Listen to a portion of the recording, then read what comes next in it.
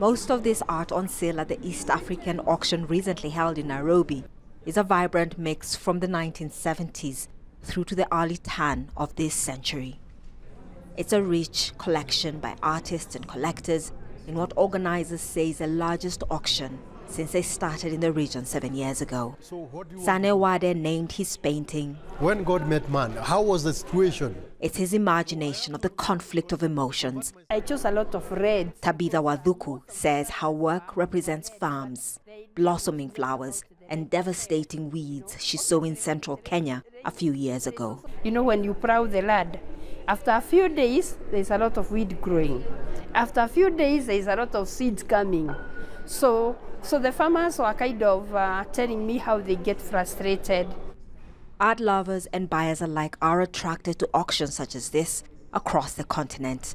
But some in the industry argue a crippling lack of infrastructure and support has limited the growth of the arts market, forcing talent to look elsewhere for opportunity. So this is from 1977. The founder of this auction says things are changing for the better. There's been an enormous boom. Um, emerging markets, uh, the art market tends to follow emerging markets. There was a boom in China, there was a boom in India. Um, it's now our time. Um, we've been predicting a boom for the last eight or ten years, but in the last two years we've really seen it.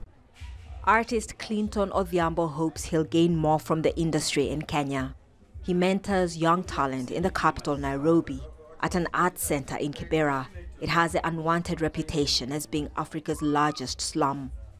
But these children are learning to paint a sunset in the savannah on canvas. Most of the young artists in Kibera have had their basic training here. It's a place that keeps children off the streets and also nurtures their talent. The trainers we talked to said the children they're working with have a huge potential. Odhiambo says he's painted since he was seven years old. His work has helped him pay some bills but still struggles to survive. It's hard to get the art curators coming to the studio most of the time to see your works and comment about them. And also, it's all about recognition. The artists in Kibera Center are, however, optimistic that one day their art will also feature in prestigious auctions such as this one.